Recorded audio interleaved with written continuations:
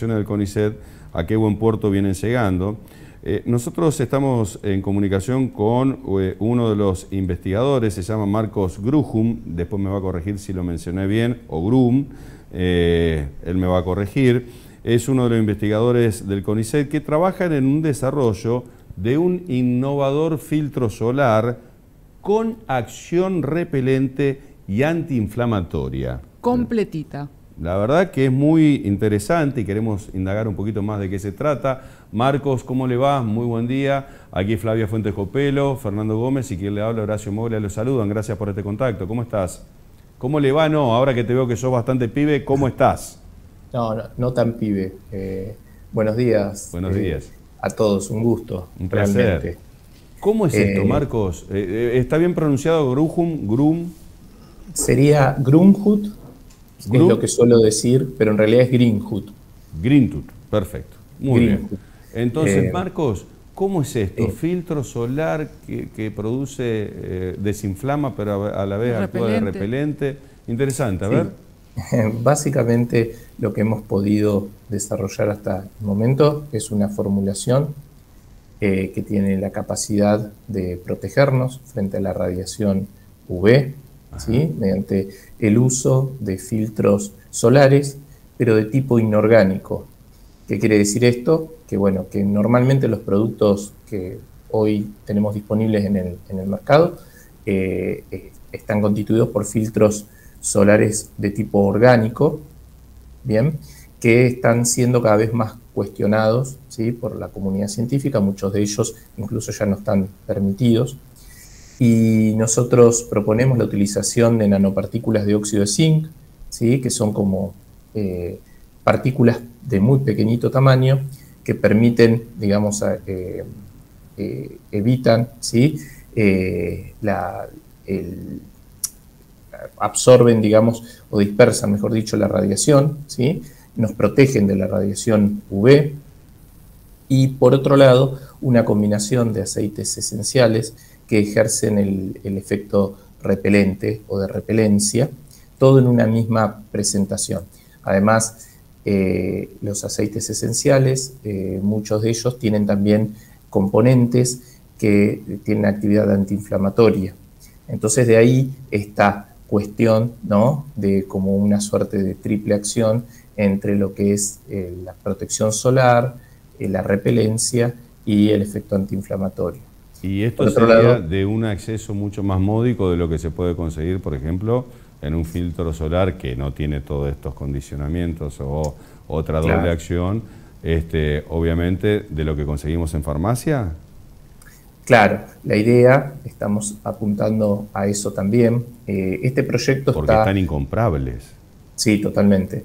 Este proyecto está encuadrado, enmarcado, sí, dentro de eh, un financiamiento que nos otorgó el, año pasado, ¿sí? a principios de año, el Fondo de Innovación Tecnológica de la provincia de Buenos Aires, FITBA, bien, y está articulado con una pyme bahiense, acá de la ciudad de Bahía Blanca, que es Peñengüen Cosmética Natural, eh, liderado por la ingeniera química Analía Guerrero, eh, y con ella, justamente, a partir de todo el conocimiento que tiene ella en la elaboración de productos de cosmética natural, eh, hemos podido llegar eh, a esto teniendo en cuenta lo que mencionabas vos, eh, el tema de los costos. La idea sería ofrecer un producto que además de poder atenuar un poco todos los efectos negativos de la alta exposición solar, los riesgos que implican la exposición a insectos, principalmente a mosquitos, con todo lo que eso implica ahora, ¿no? En Bahía Blanca eh, tuvimos hace un par de días los primeros casos de dengue autóctono, pero bueno, obviamente eh, en la zona del norte, ¿sí? Del litoral, eh, ustedes están siempre muy afectados por esta, por esta temática. Entonces, realmente la idea es ofrecer un producto que por ahí está bueno aclarar, también está encuadrado dentro de lo que es eh, producto de cosmética natural.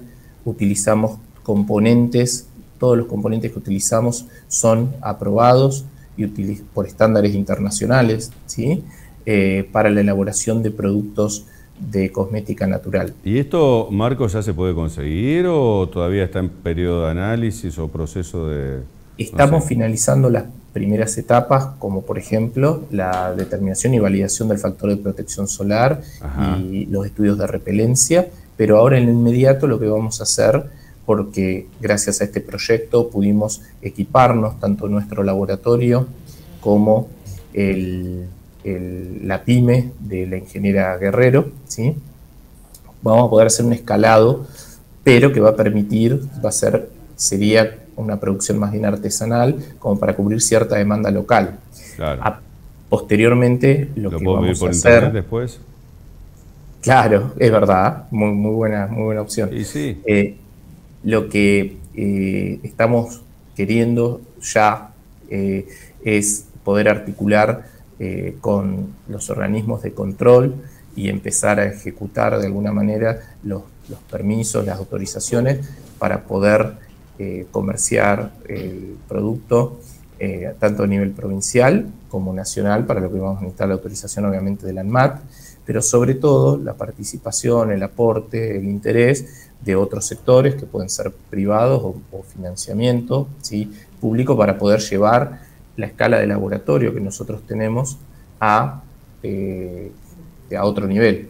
Sí, Flavio. Tanto para cubrir las demandas ¿no? de, del producto. Sí, Marco, ¿qué tal? Buenos días. Eh, me quedó eh, la duda en la parte de antiinflamatorio. ¿Para qué sería el antiinflamatorio? ¿Para cuando te pican eh, estos el, el, mosquito o cualquier otro tipo, se te inflama la piel, se te hace la famosa ronchita roja? ¿Es para eso o es para otra cosa más? Es para eso, es muy, muy buena la, la pregunta. Puede llegar a atenuar ese efecto, pero también una eh, exposición solar excesiva genera inflamación, ¿sí? el enrojecimiento eh, de la piel. Eh, lo, sabemos y lo hemos padecido todos seguramente en algún momento, genera una reacción, una respuesta inflamatoria y justamente el efecto de los componentes que presenta esta formulación pueden atenuar de alguna forma y contribuir. Además, bueno, hemos podido también incorporar eh, vitamina E como antioxidante y otros componentes que ayudan. Una cuestión, ahí veía las fotos que están eh, pasando, eh, es que justamente esta que estamos viendo es la cuestión de la transparencia. En general los filtros químicos de tipo inorgánico que les mencionaba hoy, que están incluidos en productos sobre todo destinados para bebés, niños o pieles sensibles, son los que se ven típicamente blancos. ¿no? Bueno, en nuestro caso, eh, el producto cuando se distribuye se percibe transparente.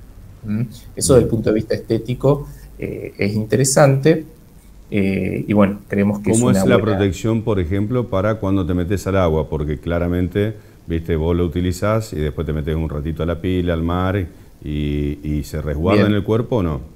Sí, porque justamente las microemulsiones que, con las que nosotros trabajamos y en las cuales cargamos todos estos componentes son sistemas de combinaciones de aceite y agua, es decir que em, los componentes que presenta la formulación tienen cierta adherencia, interacción con la piel que permite que eh, no se vayan eh, con, con el agua. en contacto con el agua. Marcos, eh, estamos fuera de tiempo, pero lo último que quiero consultarte es, ¿en cuánto reduciría el costo de lo que podés comparar con otros protectores este, eh, orgánicos? ¿no? Eh, esto número uno, ¿cuánto más económico sería? Y número dos, mencionabas que estaba en una etapa todavía de habilitaciones y de darse sería un poco de escala artesanal, ¿no? Este, por lo menos en la primera etapa. ¿Cuánto tiempo en lo inmediato. En lo inmediato. Bueno, ¿qué sería lo inmediato? ¿Una semana, dos, tres? ¿Qué? No, no, un poquito más todavía tenemos que poner ¿No a llegás para el verano? Así me haces ahorrar en el... ¿No? ¿Todavía no?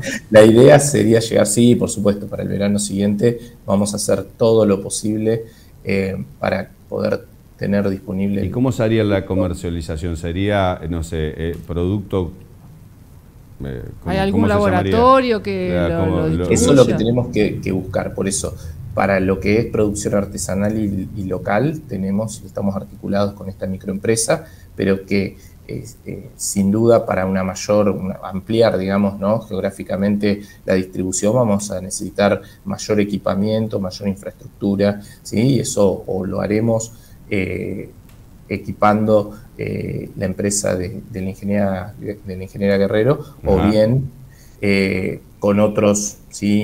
inversores o gente que le interese el proyecto. Filtro solar Guerrero sería, o búsquela Guerrero. Bueno, eh, hasta, ahora hemos puesto, Vamos por ahí. hemos puesto de acuerdo y sería reprotector.